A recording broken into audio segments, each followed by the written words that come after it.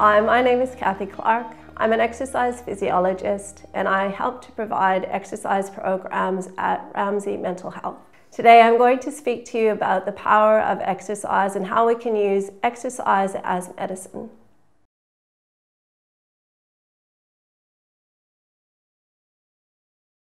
So an exercise physiologist is a university trained uh, health professional who will help individuals who are either dealing with mental health issues or physical injuries and just provide direction and programming to help them recover.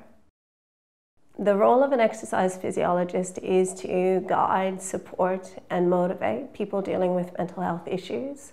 So quite often they don't have the motivation to, to really move into exercise on their own accord. So we're just there to give them a helping hand. When you come to see an exercise physiologist, you'll normally go through a health screening process. So we want to make sure that there aren't any underlying physical conditions that would prevent you from exercising safely. But most importantly, even if there are underlying physical conditions, there are so many things that you can do to start really moving forward in terms of your health and well-being that an exercise physiologist can really tailor an individual program for you so that no matter what condition you're in and no matter what you're facing, that there will be something that you can do to really empower yourself. The most common question we get from patients regarding exercise is probably how do I fit this into my day? And the number one response we give them, it really isn't a matter of time, it's a question of priority. So really making your exercise a priority and a lot of the times we may not feel like doing our exercise, but it's one of those things that once you've done it, you'll never regret having made the time to do it. In terms of how we define exercise, if you're really inactive, just that act of getting up off the couch is really so powerful.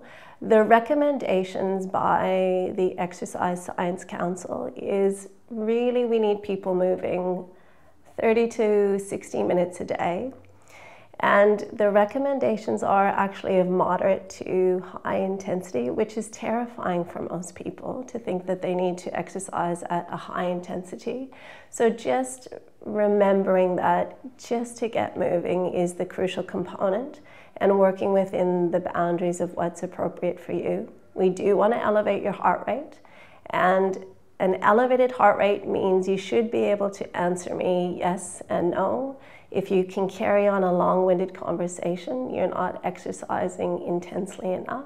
So that's a really black and white way of, of looking at without having to use heart rate monitors. So we want you breathing more deeply. We want you to be breaking out in a little bit of a sweat, but we never want you to be pushing yourself to the point where you feel like you're really fighting for your breath and just consciously thinking, I can't do this. That's never the zone that we want you to be in. So an example of moderate to high intensity exercise will be dependent on the individual's exercise level and fitness level. So for some people, walking briskly will most certainly be high intensity exercise. And then if you have someone with a really uh, high fitness level, going for a run or for a jog would be more so conducive to them elevating their heart rate to the right level. So again, it's always really looking at the individual person, finding out where their current fitness level is, and then prescribing things that are appropriate for them.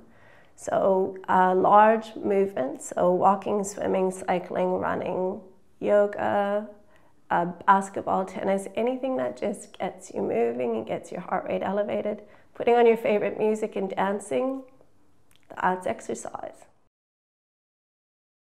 In terms of additional benefits other than just the physical component to exercise sessions, you'll also see enhanced mental well-being through self-esteem, self-confidence.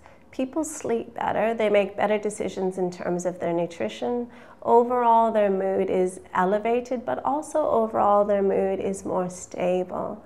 So there's so many other benefits to be found other than just the pure physiology of exercise. At times we're asked, what is the downside of exercising? There isn't one. There really isn't one. It's all positive and it's all beneficial unless you hate to sweat. That might be the only downside.